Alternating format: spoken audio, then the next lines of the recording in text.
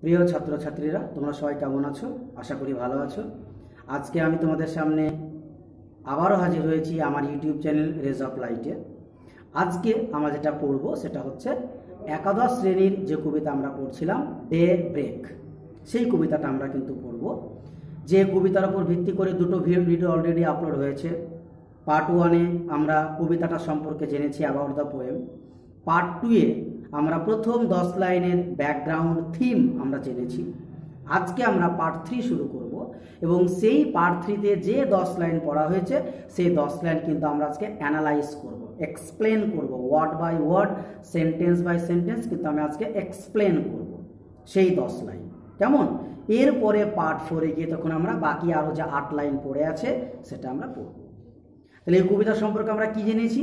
যে ডেব্রে কবি হচ্ছে এইচ ডাব্লিউ লংফেলোর লেখা। কবি বাতাসকে দায়িত্ব দিয়েছেন। ডে ব্রেক ঘোষণা করা। Day break means starting of the day দিনের শুরু অ্যারাইভাল অফ দ্য ডে দিনের আগমন মর্নিং ডন এগুলো বলতে পারি আমরা। তিনি সবাইকে জানাতে চান যে রাত শেষ the night is gone the day has been started দিন শুরু হয়ে গেছে, কাজে প্রত্যেকে তোমরা আপন আপন কাজে লেগে যাও। আর এই দায়িত্বটা কবি বাতাসকে দিয়েছেন। তিনি বাতাসকে পার্সনিফাই করেছেন, চরিত্র হিসাবে, ব্যক্তি হিসাবে কল্পনা করেছেন। বাতাসকে তিনি এই রেসপন্সিবিলিটি দিয়েছেন এবং বাতাস কিন্তু একে একে সে কিন্তু এই অ্যানাউন্সটা কিন্তু করছে, সে ঘোষণা করছে। সেই বিষয়টা আমরা জেনেছি। আজকে আমরা কিন্তু ওয়ার্ড বাই ওয়ার্ড আমরা আজকে এক্সপ্লেন করব প্রথম দশ লাইনের। আজকে শুরু হচ্ছে পার্ট থ্রি, প্রথম দশ লাইনের টেক্সচুয়াল অ্যানালাইজ ঠিক আছে? তাহলে আমি পড়ছি, প্রত্যেকের টেক্সট বুকটা ফলো করে দেখবে। কি বলছে? যে বাতাস ক থেকে আসছে বলেছিলাম? সমুদ্র থেকে আসছে। এবং সে প্রথমে কার সঙ্গে দেখা করেছিল? কুয়াশার সঙ্গে দেখা করেছিল। তাই না? প্রথমে দেখো বলছে, এ ওয়াইন্ড একটি বাতাস। বাতাসকে পার্সনিফাই করেছে। ব্যক্তি হিসাবে কল্পনা করেছে। কেম আপ উঠে এলো, আপ উপরে আসা। কেম আপ উঠে এলো। Out of the sea out of এই যে দুটো শব্দ আউট অফ এই আউট অফ মানে হচ্ছে ফ্রম আউট অফ মানে ফ্রম থেকে। অর্থাৎ আউট যদি ব্যবহার হয়, তাহলে অফ করতে হবে ফ্রম হবে না।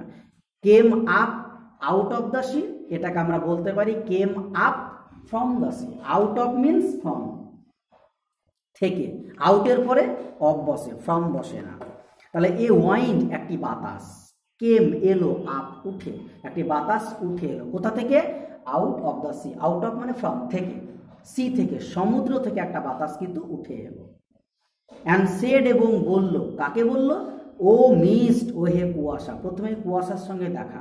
এবং সে কুয়াশাকে বলছে, ও মিস্ট মিস্ট মানে কুয়াশা ফার্স্ট ঠিক আছে? তাহলে সে কুয়াশাকে বলছে মেক রুম রুম মানে কি বলেছিলাম? মেক রুম রুম মানে হচ্ছে স্পেস, জায়গা। আমাকে জায়গা দাও, আমাকে রাস্তা দাও। কেন? যাবে? বাতাস যাবে অ্যানাউন্স করতে যাবে, তো রাস্তা দরকার। কুয়াশা ঘিরে আছে ব্লক করে আছে রাস্তাটা। তাই বলছে মেক রুম জায়গা রুম মানে এখানে ঘর নয় রুম মানে স্পেস জায়গা। আমাকে জায়গা করে দাও। ফর মি আমার জন্য, অর্থাৎ আমার মুভমেন্টের জন্য। For me means for its movement মুভমেন্টের জন্য আমাকে রুম করে দাও, জায়গা দাও আমাকে। তারপরে ইট হেল্ড এটা অভিনন্দন জানালো। স্বাগত জানালো হেল্ড মানে অভিনন্দন জানানো স্বাগত জানানো, শুভেচ্ছা জানানো। দ্য শিপস জাহাজগুলোকে। অনেকগুলো জাহাজ শিপস বহু বছর অনেকগুলো জাহাজ রাখা আছে, সমুদ্রের ধারে বাঁধা আছে। ওই জাহাজগুলোকে সে অভিনন্দন, অর্থাৎ মর্নিং গুড মর্নিং উইস করল, অভিনন্দন জানালো। অ্যান্ড ক্রাইড এবং চিৎকার করে বলল সেলওয়ান যাত্রা শুরু করো। এ ম্যারিনার্স ও হে নাবিকেরা। অর্থাৎ ওই জাহাজে নাবিকেরা সব ঘুমিয়ে আছে, নাবিকেরা সব শুয়ে আছে। তাই নাবিকদেরকে বলছে সেল ওয়ান যাত্রা শুরু করো। যাত্রা শুরু করতে বলছে নাবিকদেরকে। দ্য নাইট ইজ গন রাত তো শেষ হয়ে গেছে, রাত চলে গেছে। তাহলে আমরা তিনটে জিনিস পেলাম, যে আমরা দেখলাম যে একটা বাতাস সমুদ্র থেকে উঠে এলো, এসে প্রথমে সে মিস্ট কুয়াশাকে বলছে মেক রুম আমাকে জায়গা করে দাও, রাস্তা করে দাও, আমি যাও ফরমি আমার জন্য। তারপরে কি? ইট হেল্ড দ্য শিপস জাহাজকে অভিনন্দন জানালো, স্বাগত জানালো, শুভেচ্ছা জানালো কাকে? শিপস জাহাজকে। তারপরে জাহাজে যে ঘুমিয়েছিল ম্যারিনার্স নাবিকেরা অর্থাৎ সেলর সেই ম্যারিনার্সকে সেই সেলরকে কি বলল? তাকে বলল সেল ওয়ান যাত্রা শুরু করো। সেল ওয়ান হচ্ছে সমুদ্রে যাত্রা করাকে আমরা বলি সেল ওয়ান যাত্রা শুরু করো। দ্য নাইট ইজ গন রাত শেষ হয়ে গেছে। কাজে যাত্রা শুরু করে দাও। অ্যান্ড হারিড এবং দ্রুত বেগে হারিড দ্রুত বেগে ফার্স্টলি ল্যান্ড ওয়ার্ড স্থলভাগের দিকে ফার অ্যাওয়ে দূরে, অর্থাৎ দ্রুত বেগে স্থলভাগের দিকে ছুটছে। ইট ক্রাইং চিৎকার করতে করতে ক্রাই মানে কান্না নয়, চিৎকার সাউট ক্রাইং চিৎকার করতে করতে কি বলে চিৎকার করছে? অ্যাওয়েক জেগে ওঠো ইট ইজ দ্য ডে দিন শুরু হয়ে গেছে। অর্থাৎ সমুদ্রে জাহাজকে উইস করে ম্যারিনার্সকে জানিয়ে ল্যান্ডের দিকে ছুটলো। কীভাবে? হরিডলি দ্রুত বেগে। কোথায় যাচ্ছে? ল্যান্ড ওয়ার্ড স্থলভাগের দিকে ছুটছে। কীভাবে? সাউটিং ক্রাইং চিৎকার করতে করতে। কি বলে চিৎকার করছে? Awake it is the day জেগে ওঠো, দিন শুরু হয়ে গেছে। সবকে তিনি জাগতে বল, সবাইকে বাতাস জাগতে বলছে। It said unto the forest এটা ফরেস্টে ঢুকে গেল। অর্থাৎ ল্যান্ড থেকে ফরেস্টে চলে গেল। এবং ফরেস্টকে গিয়ে বলছে, বনভূমিকে গিয়ে বলছে কি? সাউট চিৎকার করো। তাহলে বনভূমিকে কি বলল? সাউট চিৎকার করো। হ্যাং খুলে দাও। অল সমস্ত ইয়োর তোমার লিফি ব্যানার্স পাতাবাহার, অনেক যে পাতা লিফি লিপ থেকে লিফি পাতাবাহার সেই পাতাবাহারগুলোকে খুলে দাও আউট অর্থাৎ প্রথমে হ্যাং শেষে আউট এই হ্যাং আউট একসঙ্গে ফ্রেজাল বা উন্মোচন করে দাও, খুলে দেওয়া তাই ফরেস্টকে গিয়ে কি বলল? ফরেস্টকে প্রথমে গিয়ে বলল সাউট চিৎকার করো। তারপরে কি বলল? Hang all your leafy banners out তার মানে তোমার সমস্ত পাতা অল সমস্ত ইয়োর তোমার লিফি ব্যানার্স পাতা বাহারগুলোকে কি করো? হ্যাং আউট খুলে দাও, উন্মুক্ত করে দাও। ইট টাচড এটা স্পর্শ করল দ্য উড বার্ডস বনের পাখি, সেই ফরেস্টে পাখি ছিল। যে ঘুমিয়েছিল, শুয়েছিল। ডানা গুটিয়ে শুয়েছিল। অর্থাৎ ফোল্ডেড মানে ভাজ করা, উইং মানে ডানা। ডানাগুলো ভাজ করা অবস্থায় আছে। যখন উড়ে যায় তখন ডানা মেলে দেয়। শুয়ে থাকলে ভাজ করে নেয়। তো ঘুমিয়ে আছে তাই ফোল্ডেড ফোল্ডেড মানে ভাজ করা, উইং মানে ডানা। তাহলে সেই বনের পাখি উড বার্ড বনের পাখি। উডবার্ডকে আবার আমরা বলতে পারি কাঠঠোকরা পাখি। উডবার্ডকে কাঠঠোকরাও বলা হয়। তাহলে উড বার্ড বনের পাখি ফোল্ডেড উইং ভাঁজ করা ডানা রয়েছে, সেখানে বাতাস গিয়ে টাচ করল স্পর্শ করল। তাহলে ইট এটা এটা মানে বাতাস ওয়াইন্ড টাচ স্পর্শ করল। দ্য উড বার্ডস বনের পাখির ফোল্ডেড ভাঁজ করা উইং ডানাতে। এটা স্পর্শ করল, বনের পাখির ভাঁজ করা ডানাতে। অ্যান্ড সেড এবং বলল, কি বলল পাখিকে গিয়ে? ও বার্ড ও হে পাখি। অ্যাওয়েক, জেগে ওঠো অ্যান্ড সিং গান করো। তাহলে পাখিকে কি বলল? পাখিকে বলল, অ্যাওয়েক, জেগে ওঠো অ্যান্ড সিং এবং গান করো। আমি দশ লাইন বললাম তাহলে এখান থেকে জানতে হবে কাকে কি বলল। ফার্স্ট হচ্ছে মিস্ট কুয়াশা। কুয়াশাকে কি বলল সেটা আমাদের জানতে হবে। কি বলল? মেক রুম জায়গা দাও আমাকে, রাস্তা দাও যাওয়ার জন্য। শিপস জাহাজকে কি করল?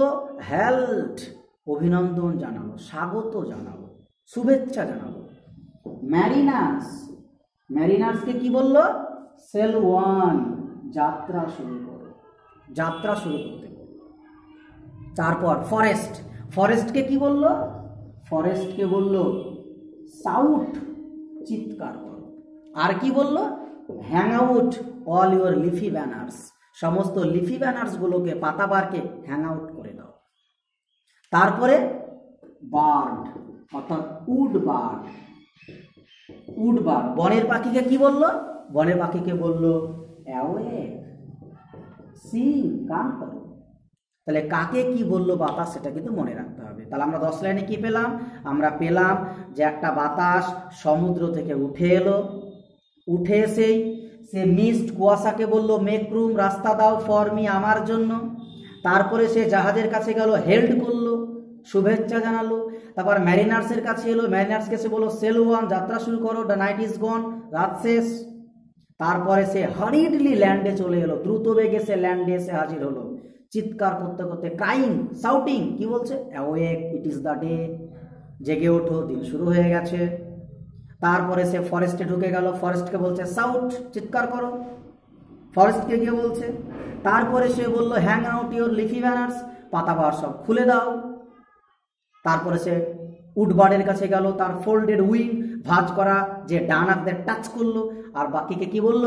অ্যাওয়েক অ্যান্ড সিং জেগে ওঠো, গান করো। তার আরেকবার পড়ছি আমি।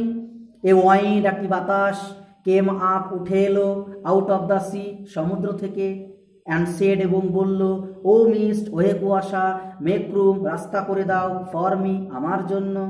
ইট হেল্পস, এটা অভিনন্দন জানালো। দ্য শিপস জাহাজগুলিকে অ্যান্ড ক্রাইড এবং চিৎকার করে বলল সেলওয়ান যাত্রা শুরু করে দাও। এ ম্যারিনার্স ওহে নাবিকেরা। দ্য নাইট ইজ গন, রাত শেষ হয়ে গেছে। অ্যান্ড হরিড এবং দ্রুত বেগে ল্যান্ডওয়ার্ড স্থলভাগের দিকে ফার অ্যাওয়ে দূরে চলে গেল। ট্রাইং চিৎকার করতে করতে অ্যাওয়েক জেগে ওঠো। ইট ইজ দ্য ডে দিন শুরু হয়ে গেছে। It said to the forest এটা বনভূমিকে বলল সাউট চিৎকার করো। Hang all your leafy banners out তোমার সমস্ত পাতাবারকে খুলে দাও। ইট টাচড এটা স্পর্শ করল। দ্য উড বার্ডস বনের পাখির ফোল্ডেড উইং ভাঁজ করা ডানাকে। অ্যান্ড সেড এবং বলল, ও বার্ড ওহে পাখি, অ্যাওয়েক অ্যান্ড সিং জেগে ওঠো এবং গান তাহলে ইট বলতে বাতাস, বাতাসকে বোঝানো হয়েছে।